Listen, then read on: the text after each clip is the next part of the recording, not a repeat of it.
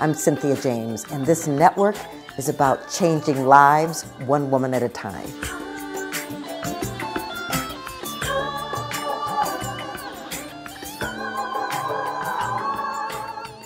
Hello, and welcome to Women Awakening. I'm your host, Cynthia James, and I love that I get to introduce you to fabulous women women who are way showers, women who are change makers, women who have said, I'm going to take control of my life. And oh, and by the way, I'm going to make a difference in the lives of others. And so I do this every week. Every Friday, you get a new show, meet a new woman, and get inspired. We are on all the platforms iTunes, iHeart, Spreaker, uh, Amazon, YouTube video. Just look for Women Awakening with Cynthia James and subscribe. Tell your friends, share the videos. We want as many women as possible to know about the fact that we live in a field of infinite possibilities and the world is waiting for us to bring more love, more compassion, more light. So um, you can also go to cynthiajames.net. I have a lot of stuff at my website, and you can sign up for my monthly newsletter and see some of the things that I'm offering. So today, I'm excited to introduce you to a woman who um, we have been on a board together. we have been in Africa together, and she's an extraordinary being. Her name is Suzanne Leydecker, and she's a what her bio says is she's a dynamic mother, philanthropist, speaker, and author with a passion for empowering women.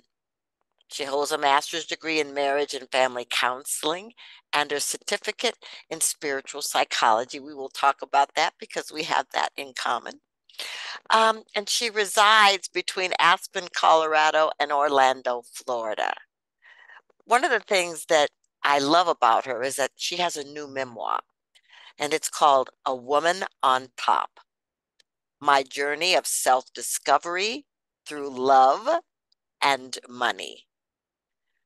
She says that her commitment is beyond words, that she promotes self care and practices the nurturing of the mind, the body, and the spirit. Suzanne, thank you so much for being here. And thank you for having me, Cynthia. Well, I want to start um, where you came from, because because it, it's an important part of your book. where how did you grow up? Where did you grow up? I grew up, Cynthia, in a small town town named Ross, California, which is north of San Francisco, across Golden Gate Bridge. And I grew up in a oh pretty typical family. My father went to work, my mother stayed home. Uh, it was so far from normal after going through the process of writing this book, but I think a lot of people's childhood was not as normal. The first chapter of my book is called The Apple Doesn't Fall Far from the Tree. And when I first started writing it, I realized the importance of figuring out what apple orchard I came from. If some of my apples are rotten, maybe I need to get rid of them. Maybe I want to move to a peach grove. I don't know. Um, I think that by far out of the probably 50 people who've read this book so far, which for me was overwhelmingly successful in less than a month, um, maybe more than that, maybe 100 people, that the best feedback that I got was on the beginning parts because I was showing my really confusion over love and money like it, I didn't know whether we were rich, whether we were poor. We were poor for a little while, then we were middle class, I guess, and then we became. My dad sold his company, and so looking back on it, I realized that how much those experiences as a child set me up for future oh difficulties sometimes a lot of the things that i learned from my father were extremely important and served me sometimes people are like wow how do you know all that because I was involved a little bit in his business and whatnot, but there was still a huge like connection between love and money. And if you were good, somebody offered to give you something, and if you weren't, they offered to take it away. So it was all these mixed messages, and so that's where it's touched my readers the most, where they're like, "Oh, either I grew up in that kind of situation, or it's made me think about my childhood." Yes. Well, I love that. Uh, you're an only child? I have a brother, and okay. I didn't bring him into it too much. We have some family conflict over money. right. You know, right. I mean, I was just talking to this man. This is a little off the point, but this man that was at my house, he works for me. Clearly, him and his girlfriend are doing okay, but not great. And uh, she just moved in with him. And she's like, I don't get it. You know, like I have to pay two thirds the rent. She only has to pay one third. And he added up how much she's on vacation once a month, which means three months out of the year she's not working. He's like, I just don't get how this works.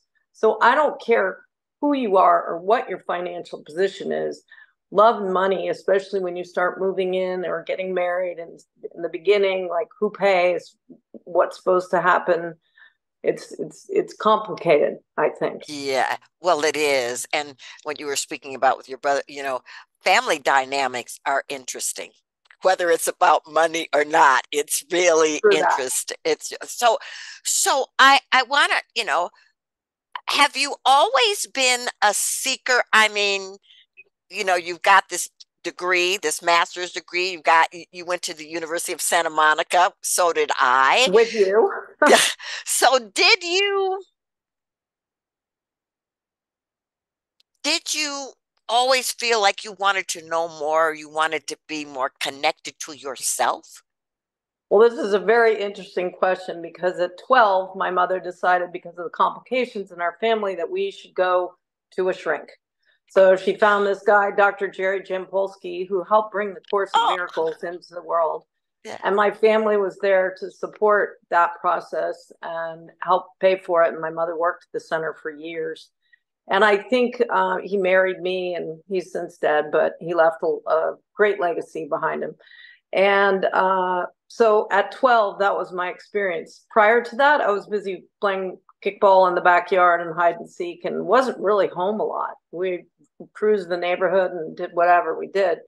Um, but I think that that set a seed, and I got a degree, an undergraduate degree in landscape architecture. And then I started working at the center myself, working with people who had weight uh, image issues which I also have because that's why people get into this business because they they have their own issues. That propelled me to go to graduate school, which in those days was a very odd school in San Francisco called the California Institute for Integral Studies. I thought it was so left wing until I got to the University of Santa Monica. And when I found out about that school, there were some people that I know in Aspen I didn't know they went to USM, but I knew all of them had something that I wanted. And the day that I got the application to USM, I knew that it was somewhere I, I wanted to go. And that really propelled my spiritual adventures and journaling and all kinds of things. And there's a point in my book, I swear, eight years into this whole process, which took me 11 years, years after I graduated from USM. And I was like, I can't believe every day I seem to practice. I freeform write, I meditate, I do everything, and nothing is changing. And then all of a sudden, like if you want to transform yourself, just write the story of your life and you, you will grow more than you could ever grow, possibly in any therapy. And I know I have those degrees behind me. Um, sometimes therapy is appropriate, but writing your own story was definitely something that all of a sudden everything began to click. And even two out of my three children have told me, I think the other one feels the same, but he's never verbalized it. They say, you know, I'm a different person now than I was. And so my my one lesson and hope for everyone is, is that whatever you're doing, keep doing it, even if you don't think it's working sometimes going to the gym doesn't produce, you know, the weight loss, whatever. And I was just listening to Atomic Habits by James Clear. What a great book um, about how to, you know, kind of keep working, keep mm-hmm. going. Right. So, okay. Um, uh, first of all, um, I want you to hold up your book. Oh, because yes. I want to because I want to talk about this book. Oh, it's beautiful woman on That's top. beautiful. And I almost did this whole thing myself because I I stole from my son-in-law the the writing up the side, and this is actually could not find a silhouette because I wanted it to be me, but not right. me. And I took all these pictures and we created this, and I came up with these special colors that mean a lot. And then somebody gave me this really soft, beautiful book, and I was like, "That's yeah. it." Yeah, it's gorgeous. And so, ladies, if you're listening, um, we're going to tell you where to get the book. But if you're on YouTube, you've already seen it. It's gorgeous. So I want to I want to talk about how your life changed. You know, um, so there's a moment where there's a tragedy in the family, and all of a sudden you have a lot of money. Talk to us about that. Yeah.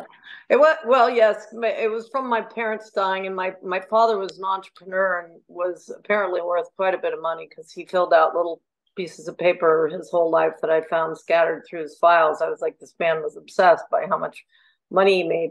I don't think it was for the money. I think that he was trying to prove to his family of origin that he was okay. So it was a small family run business by my started by my grandfather in the freight forwarding business in San Francisco. So they were running goods to Asia back, I don't know, back in the early 1900s. My father took over the company because he saw this this this vision that he couldn't let go of how successful it can be the family saw it as he was trading in love for money. So there was another an example, a very clear one, where all of a sudden I was very close to my cousins and then nothing, where we weren't allowed to talk about it. So that was kind of upsetting. But uh, you know, he had this, he lost all the money he made because he got a very bad Alzheimer's and just did very silly stuff, which I do talk about in my book. Um, but he managed to have this life insurance policy, which really, honestly, Cynthia, until the day it, there were checks arrived by regular mail, ridiculous. Uh, I never knew whether it was going to come or whether it wasn't. And the day it came was the day I said, okay, I can support myself. I was a single parent at that time and my three children. And I don't have to worry about providing for them for college and doing all that. I did not inherit a ton of money, but I inherited a great deal more than than most people on the planet have, um, which set me up for just continue with your point. When I inherited the money, it was like I'd won the lottery or sold my company or divorced, and all of a sudden somebody plopped a lot of money into my lap, more than I had ever had, for sure. And I didn't know how to handle it. I challenge anybody. I talk to people all the time and they're like, can't wait to win the lottery. This is what I'm going to do. Well, we know from fact that most lotteries, most lottery winners lose all the money. They families are divorced, um, broken up, and or they kill themselves. That's right. That's so right. I felt like I was a lottery winner, and I felt a lot of guilt and shame over being the chosen one. And I hung around a lot of just people that didn't necessarily have a lot because they're my friends. And it you know and especially it impacted my relationship with boyfriends. And everybody said to me just one second over and over again well the only reason they're there is for the money.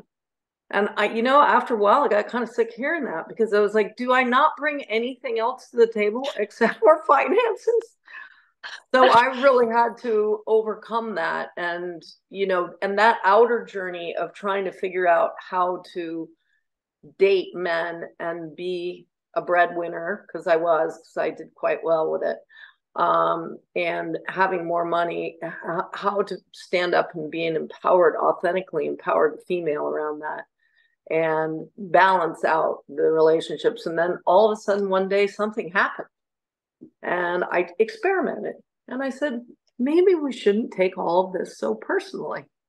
You know, whatever the whatever the crisis was, whatever right. the thing was, that I, you know, I see people doing it all the time, and I have so much empathy for them because I'm like, oh my god, that just creates more messes that you have to clean up. Once I start started, you know, I always go water over a duck's back as best you can. Sometimes you get triggered right. and you go there, but it's been amazing to let that go. Well, there's a lot to unpack here. I mean, you said a lot, and so I, there's a couple things I want to I, I want to talk about. First, I want to talk about the fact that for the most part, nobody really says to women, "This is how you handle money." This is how you manage money. Whether you're making it, whether it comes from an inheritance, whatever, you know, and and so did you get support to learn how to manage money or did what or did you kind of like stumble and fumble around until you got clear well i mean of course there's some stumbling and falling but i, I had the skill set i'm not skilled enough to be your secretary or put together this this social media thing that you're doing right here podcast but i did know a lot from my father so it wasn't the problem oh yes it was sometimes handling where to spend. Did I overspend? Did I raise my hand in auctions, buy a trip to France? And then I was, you know, whatever. I was always giving to someone because I'm a service person, right? But I think that the, the place where I really didn't have any guidance, and I don't think I talk to a lot of young people, and all parents think that they have it all figured out. I am here to tell you they for surely don't. You know, I've interviewed girls at Brown who I had the special opportunity of spending some time with. And I said, Well, how do you guys handle being very smart, being very successful in their school life, having a boyfriend? They're like, We don't, we can't, it doesn't work. I've talked to young girls that came from a lot of money, but the parents are not supporting them. But then the boyfriend always thinks that you know, hidden away in the closet is daddy's secret chest of gold. And it doesn't, it doesn't really go so well. So I think that the inherent problems in this are much greater than learning how to deal with the money, although that's entirely important. But it's how, knowing how to personally take responsibility for who you are turn your i i thought i had believe it or not i thought that this was a, a, you know like something that was bad I, at times I wanted to give it away. I was like, right. I just want to be like everyone else. And I didn't feel like everyone else. So something shifted in there at some point where I had to make a choice to say, okay, fake it till you make it. You are so lucky. This is such an asset. You wouldn't like I didn't I don't have an MBA or a wealth degree management or you know I'm not a psychiatrist around love. All I know is from my personal experience that I realized this my whole life was designed to write this book. And you you you asked some questions before uh, when you sent me your ideas about that. Was it scary? Um, what was what what was um, what were your struggles along the way? Telling my truth. And right. one of my biggest things is to help and support women in being honest, especially when they start a new relationship, about acting with integrity, about who you are and what you're what what you don't like. Um, because Man. we're so afraid they're gonna run away. Yes. They're not gonna run away. They're gonna come closer. I promise you. Well, what I love about this is um um that you you you found your way you navigated your way to to get to where you are today. And i i just want to reiterate the importance of writing your story whether it becomes a book or not. There's yes. something extraordinary about you know writing your my last book you know i think i cried through 90% of the writing it was so it was like oh man i did that right? But but here's the thing i want to say about you um telling the truth so in your relationships, because you know there have been relationships, and I know people say, "Well, they're there for the money," but you know, I really believe everything's about the great teachers that come into our life. But but what is the biggest lesson you've learned about being your authentic self in a relationship and and what it brings to you? Well, I think that those would be very personal questions. My, my, answers would be, you know, believe it or not, jealousy was a difficult one for me. I had three back to back kind of relationships with semi pro athletes. Either they had been to the Olympics or they were whatever, and they were really hot, smoking hot. Most of them younger than I am and entirely broke. Um, but I didn't want to you know, sometimes I guess they, they, I felt threatened. I had somebody do this to me in reverse last night where he was clearly had a moment where he was feeling jealous. And I was like, and it's no problem. You know, people do it. But the less you can be jealous over anybody or anything, or certainly not being afraid that your boyfriend, if he's there, trust that he's there because he wants to be there, you know, and um, and really not taking things person personally and personal responsibility are the key takeaways that I can say. Now, how you get there, there's lots of ways to get there, but what I tried to do in this book, and it was scary as all can be, um, is share my story of don't do this.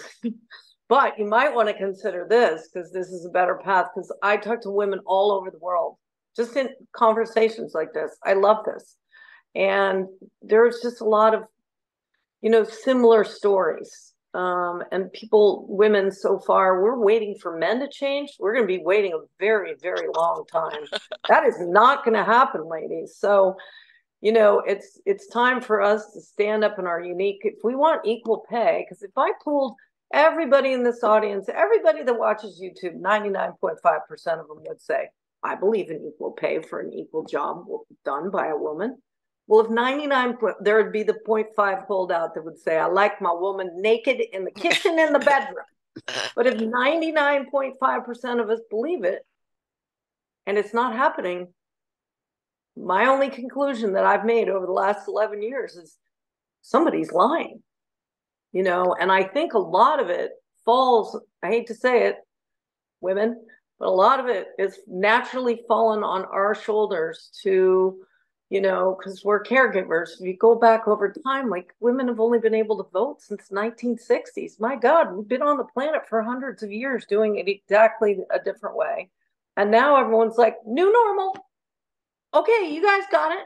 Right. This is not, hasn't been enough time. Things can change in an instant, but there hasn't been enough female role models. Now, Cynthia, I look at you because you're doing this as a female role model for other women. And, you know, but there was very few that we grew up with. Eleanor Roosevelt, you know, there there's a few, there's a handful of very successful. Oprah Winfrey certainly is one of my favorite people.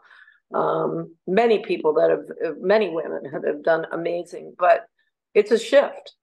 Yeah, it's a um, Time Magazine just had um, Taylor Swift is the person of the year. She's 33 years old. Yeah. And but but what I love about what you're saying is, and I'm going to say this to you ladies, there's not a ton of models, but there are models. Look at them, study them, understand what they're doing and how they're doing it and see if it can apply to any area of your life because the more of us that heal, the more of us that change and transform, the larger that number gets and the old paradigms, you know, crumbles. So, Suzanne, um, I'm very proud of you for doing this book. I mean, um, tell people how they can get your book, how they can get in touch with you. Uh, well, my book was published on Amazon and through uh, InstaSpark, with Ingram Spark. Sorry, I don't like to remember that name. Mm. Um, so it is, is available in your local bookstore if you ask for it. Hopefully, it will be in all local bookstores eventually. But you can go to Amazon and put in the title A Woman on Top My Journey of Self Discovery Through Love and Money. Or you can put in my name, which is S U Z A N N E, all smaller letters, no space, my last name, which is Leydecker, L E Y D E C K E R and it will take you directly to a page. And if you scroll down before you buy, I, I love the hardcover, by the way. It's a little bit more expensive, but it's amazing. And I am shooting to make an Audible version in February. But if you scroll down and read some of the reviews on this book, I every day I'm blown away by what people have to say. And you know, some of them could be not telling the truth because some of them are my friends, but it, overwhelmingly it's been received quite well. Yeah. Or you can go to my website, which is same, suzanneleydecker.com and sign up to get notified or uh, sign up for to receive a newsletter and we can get to you, help you get there that way. And it would be really great. And if listen, anybody that reads this book and wants to share back with me how it touched them, that would be incredible because I know my story. I want to hear yours. I want to have a conversation. Love it. Okay, ladies, you heard it. Go to Amazon, go to her website, get the book. You know, it's really important for us to support one another, for us to, you know, because it takes a great deal of courage to create. And so the more that we can support one another, the better. So, Suzanne, I ask the same last question of every guest. This show is called Women Awakening. What do you think is the most important thing about women awakening at this moment on the planet? Well, I think that finding your purpose and passion is super important. I talk to more people on the planet, men and women, and I'm like, what's your passion? I don't know. Now, you can live life without a passion, but and a purpose, but I think that that is makes what you're doing it, it narrows down your task to making sure that you're the things that you're doing are in line with your purpose and passion. And sometimes we have to vacuum or pay the bills or whatever, but just do it as much love as you can. And really, I'll go back to my other point, which is take personal responsibility. Never blame anybody for anything. It, it's we're all you said it. We're all here to support one another, and nobody shows up in anybody's life for no reason. It's just Absolutely. I don't believe, and that you know that's kind of the greatest gift that I got out of it. That I recognize that without without some hardship and without some difficult times how are you going to get to the good stuff you won't even know it's there right so it's it's all just a journey and it's you know it's a wonderful journey and embrace the things that are hard and know that they they're meant for some reason for your growth Absolutely. So uh, I want to end this segment with you bef- before I say goodbye to the ladies. You got a quote that came to you today. I and, do. And so, so, I would love for you to share it. Thank you. I'm going to have to read it off my computer screen. That's okay. So sorry. This is by John-Roger, who was the founder of the University of Santa Monica and is long since passed. But uh, I receive his quotes daily and I love them. This just 15 minutes before I got in this call, this is what came up. The finish line is not the line ahead of you. It is the line you see as you cross it. Do you stop the second you cross it? Not necessarily.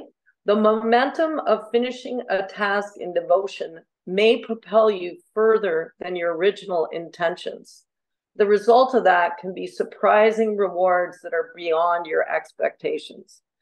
And that is certainly, I think you spoke to this earlier too, certainly like I had no idea. I had, for my level of just writing a book, the most unbelievable response in my community in Aspen, Colorado. I mean, people came out of the woodwork to support me and show up for a book launch and a reading and a and a and a party to celebrate everyone's success afterwards. And my original intentions were not to have a website and to not, you know, do speaking engagements. I just wanted to write a book and get it out in the world. But that's not what happening. It's it's being a snowball. And actually I'm getting more energy sometimes a little challenging to keep up with emails, but I'm finding I have more energy now that it's more focused into my purpose and passion, which has become very clear. So, well, Suzanne, thank you so much. Thank you for having the courage to write the book and for being willing to just put one step in front of the other, you know, because the, the birthing of the book was just the beginning. And thank you for being here. Well, thank you so much, Cynthia, and love to all of you. Mm. So, ladies, I say the same thing to you in a different form every week. You know, hey, this is your time. This is your moment. You know, there is nothing to wait for. There's no, it's going to come when. How about now? Bring your light, bring your love, bring your peace. You know, I love what John Rogers said. You know, keep going keep moving, move in the direction of your dreams, connect to that passion and power that live within you. I'm grateful to be with you. I'm grateful to share the women uh, on this planet who are doing things and can remind you of how fabulous you are. Thanks for being here. See you next time.